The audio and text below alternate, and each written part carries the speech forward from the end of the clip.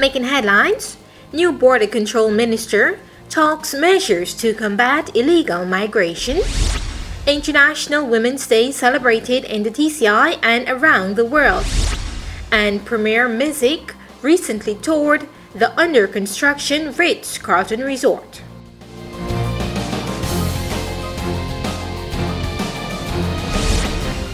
Hey there, Turks and Caicos. I am Delana Out with your Tuesday, March 9th edition of Newswatch. The news starts now. New Minister of Immigration, the Honorable Arlington Musgrove, in a national address over the weekend, pointed out some areas he feel may be hindrances to combating the issue of illegal migration and his ministry's plans for cracking down on them.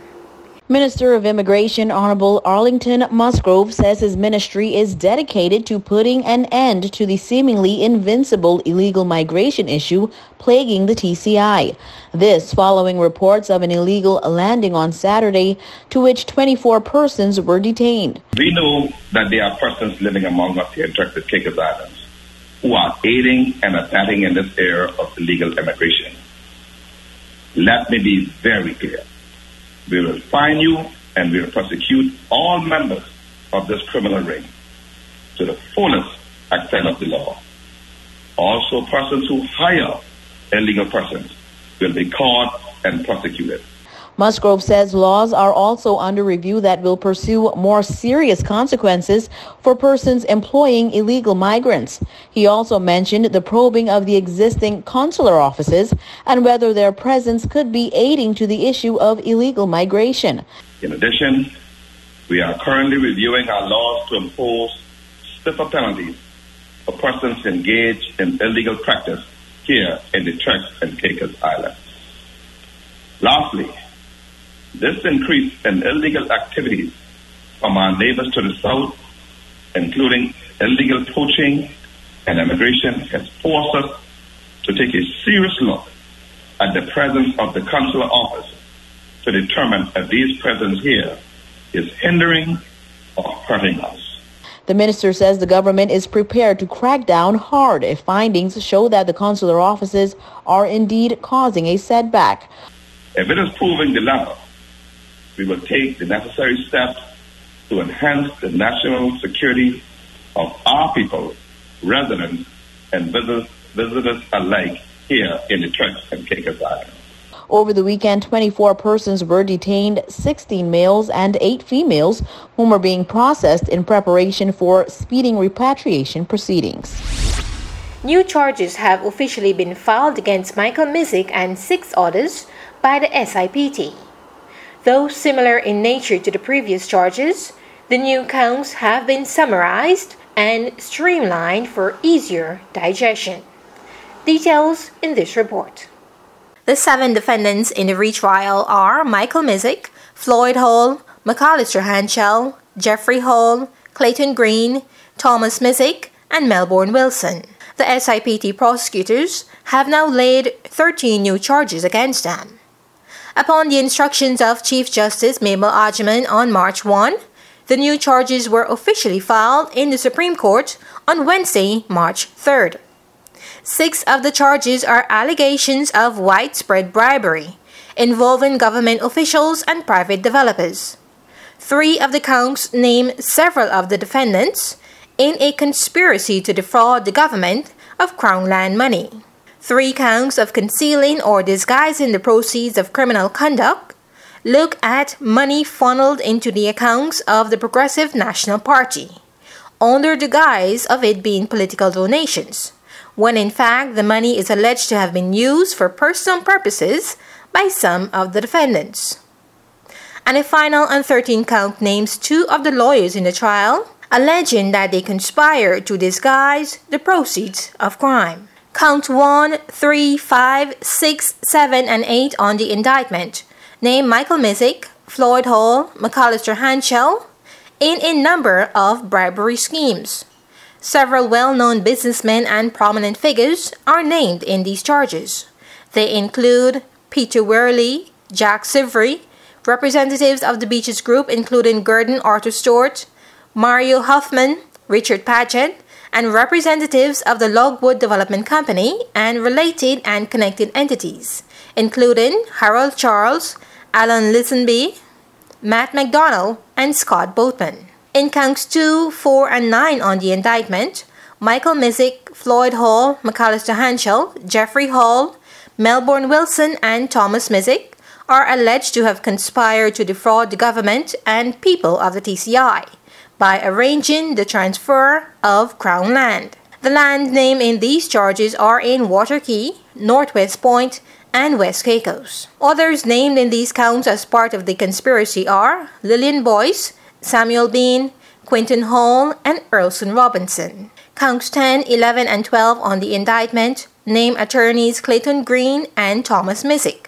alleging that they concealed or disguised the proceeds of criminal conduct, knowing or suspecting it to be the proceeds of criminal behavior of Floyd Hall, Michael Misick, and McAllister Hanchell. And count 13 alleges that Michael Misick and Floyd Hall conspired together to disguise bribes they received as payments to the Progressive National Party accounts. Once delivered to the party accounts, it is alleged that the criminal proceeds were disguised as political donations to the party. However, the prosecution alleges that once delivered to the party accounts, the money was actually used for personal benefit of Misick, Hall, and others. All of the alleged offenses are said to have occurred between 2003 and 2009. A quick commercial break now, but do stay with us. More news when we come back. This is a reminder that all PTV service accounts are due on the first day of each month. Accounts should be brought up to date by the 28th of the month to avoid disruption in service. Payments may be made on our office at Stubbs Diamond Plaza, Providenciales, Mides Plaza, North Caicos, and Airport Road in South Caicos. Payments may also be made online using Scotiabank, CIBC First Caribbean Bank, and Royal Bank of Canada. Please allow three business days for online payments to be processed. We thank you for your cooperation.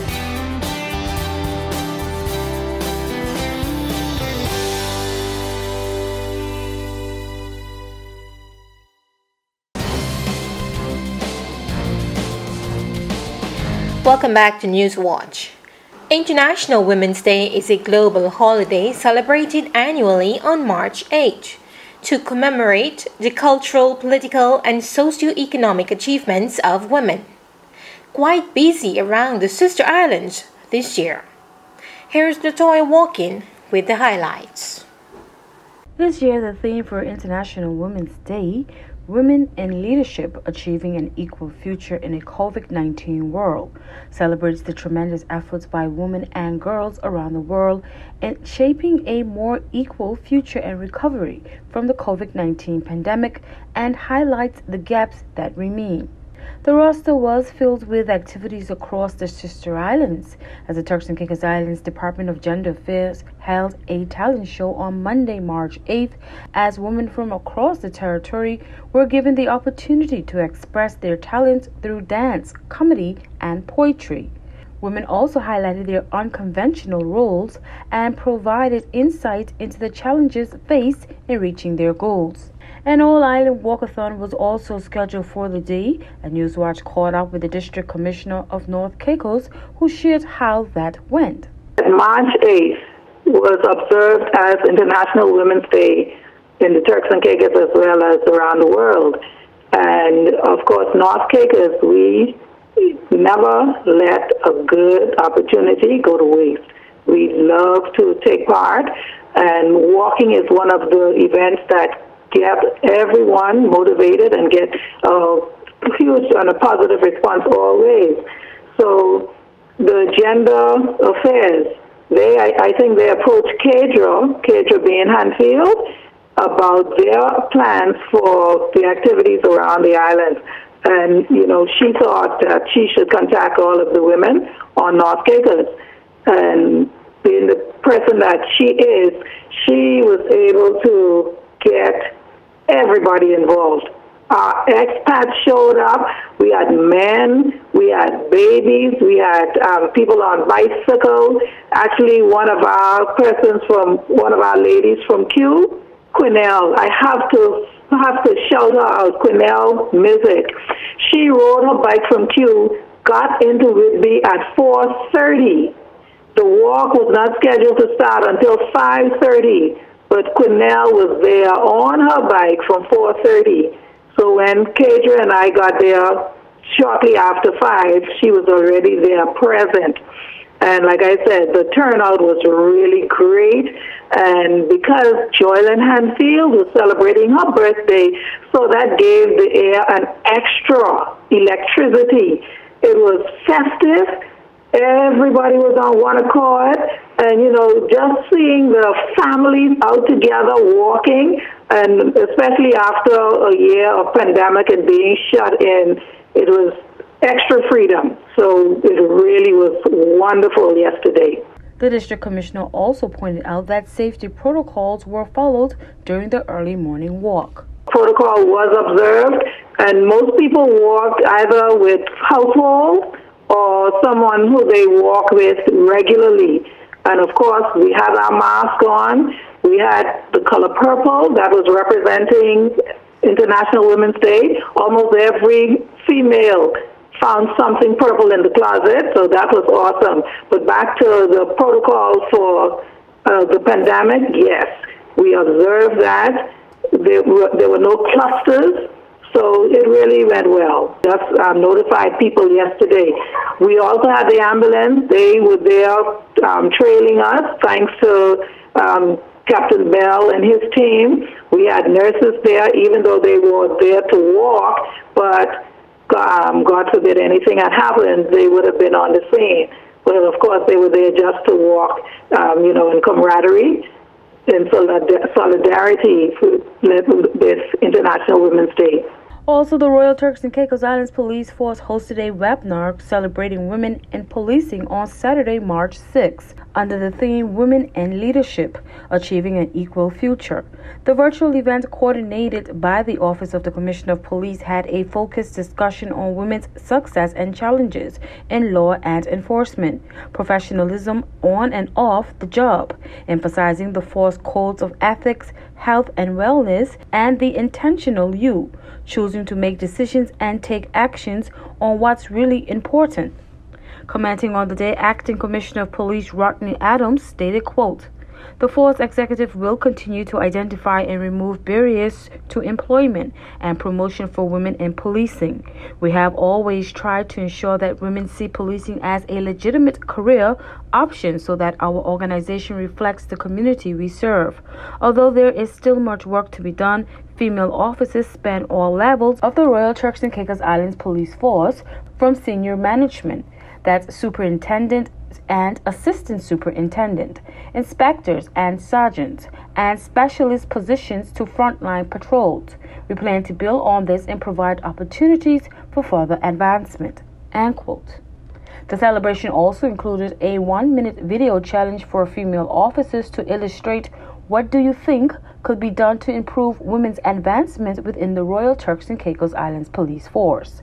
Constable Brianna Howell won the challenge. Her Excellency Deputy Governor Anya Williams also gave an official message to commemorate the day. On this day, it gives me great pleasure to wish all women across the Turks and Caicos Islands and beyond a happy International Women's Day. International Women's Day is set aside to recognize and celebrate the achievements of women all across the world in terms of gender equality and advancement. The theme for this year's International Women's Day is Women Leading the Way, Achieving Equity in a COVID 19 World and Beyond. Here in the Turks and Caicos Islands, women are no stranger to leadership roles, as women have always been a dominant force in both the public and the private sector. As the Deputy Governor and head of the public service here in the Turks and Caicos Islands, I take the opportunity to pay homage to those persons that paved the way before me. Our first Deputy Governor, the Honorable Mahala Wynns, our former Chief Secretary, the Honorable Cynthia Astwood, and our former Establishment Secretary, Dr. Linda Williams. I've had the opportunity over the years to work with an amazing group of women across all sectors of the public service. I say a special recognition today to our Attorney General, the Honorable Rondalee Brathwaite Knowles, our permanent secretaries, Mrs. Anthony Baston, the Permanent Secretary of Finance, Mrs. Cheryl Ann Jones, our Permanent Secretary of Environment and Tourism, Mrs. Althea Bean, our Permanent Secretary Home Affairs, and Mrs. Desiree Lewis, our Permanent Secretary in the Ministry of Health. A special thank you was also extended to the heads of department and all other women working across the public sector. Especially those in the area of healthcare and teaching that have worked on the front line tirelessly on our behalf in the last year. To you, we say thank you. We owe you a debt of gratitude. The role of a woman is never easy, as you must balance your professional and your personal life. But one of the things that we've learned over the years is, of course, it's never an easy act, but as women, we are strong, we are resilient, we are compassionate, we are hardworking, and we can do it. Happy International Women's Day, everyone. Premier Washington Misick met with developers of the Ritz-Carlton Resort late last week to go over the construction site and other matters with the developers. Here's more. The five-star hotel in Grace Bay Providenciales and its developers welcomed the Premier and government ministers on Thursday, February 26th. The Premier toured the resort grounds and met briefly with the developers to discuss a number of pertinent matters prior to the opening of the resort. Premier Washington Misick during the meeting emphasized the importance of inclusivity of the resort with a strong focus on the employment of Turks and Caicos Islanders, sustainability, and environmental impact. The developers also give updates on the progress of the construction and discuss the predicted impact on the tourism industry. Commenting on the development following the tour, Premier Misick says it is important that the government make their expectations clear to all developers and investors in these islands. He says the number one priority is to ensure the employment of islanders and ensure the positive and upward growth of the TCI economy and tourism industries. The Premier notes that this initial meeting was an opportunity to ensure that the collective vision for the project is one in which islanders are first and foremost the beneficiaries. Honorable Akira Misick, Minister of Infrastructure, and the Minister of Tourism, the Honorable Josephine Connolly, joined the Premier for the tour of the resort. The Ritz-Carlton Resort, Turks and Caicos, will feature 60 luxury branded private condominiums and is scheduled to open in the summer of 2021. A break now, but the weather is up when we come back. In order to auto-scan your PTV set-top box, you need to follow these basic steps. Turn on your television and set-top box. Press menu on the remote control. Choose installation and press OK. Enter password, press 0000. Choose auto search and press OK. Go down to start search and press OK. Choose yes and press OK. The box will start searching for channels until process bar reach 100%. Click on exit and data will be saved. Click on exit again to continue enjoying the PTV experience. Thank you for supporting the PTV network.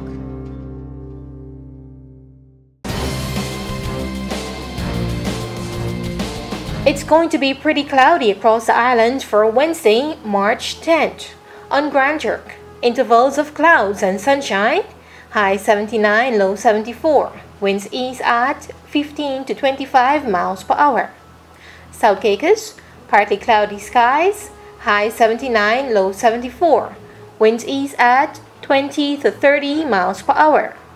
Northern Middle Caicos, partly cloudy skies, high 79, low 73, winds east southeast at 15 to 25 miles per hour.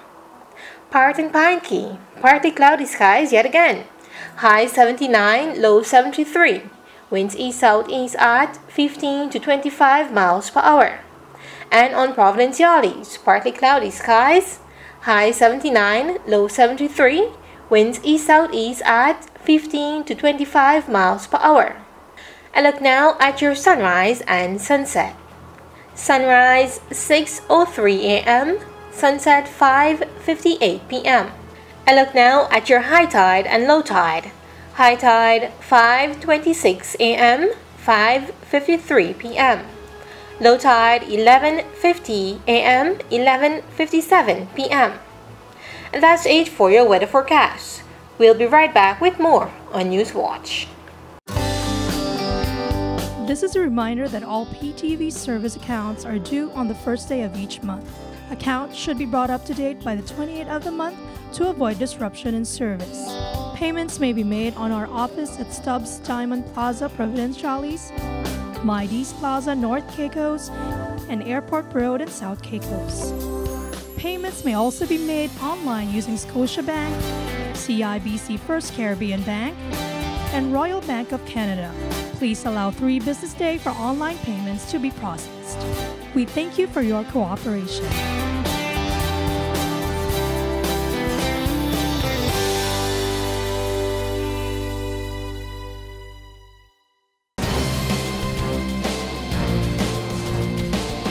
Welcome back to News Watch. Before we go tonight, we take a look at some of the fashion statements made by attendees at the 2021 swearing-in ceremony in Grand Turk last Friday.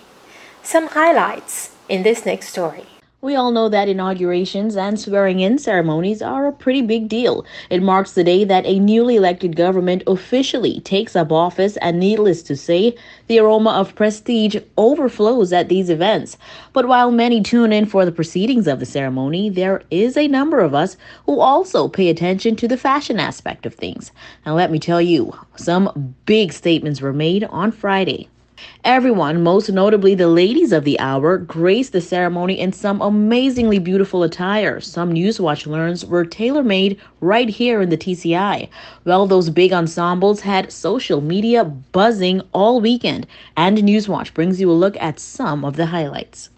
The deputy governor stepped out in this pearl white two piece ensemble lined with a beautiful pearl stringed design at the neckline, accessorized with matching wrist length gloves and a mask. She added a caramel touch with a beautiful fascinator hat to match her pointed toe, subtly strapped heels. While First and Deputy First Ladies, Mrs. Delthea Misick and Mrs. Saunders, are seen here decked down in light monochrome, which seems to have been popular among the ladies. Misick is wearing a light brown knee length dress with a beautiful white embroidery accent up the hem, her headpiece matching her caramel colored gloves. Deputy First Lady Mrs. Saunders is seen here in a simple powder pink dress brought to life with a beautiful floral purple headpiece and clutch combination.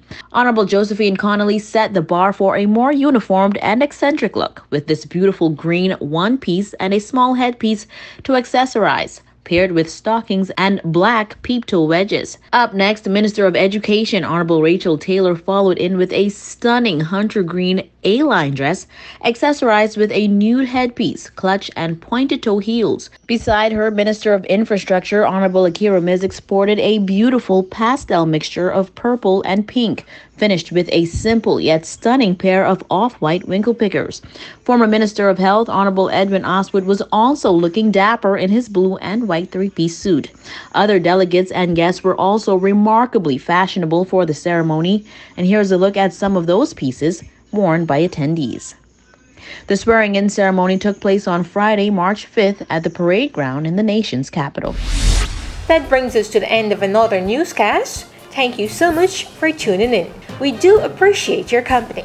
To view more content, visit us at www.ptv8tci.com or join us every weekday at 6:30 p.m. I am Delana Els. See you next time.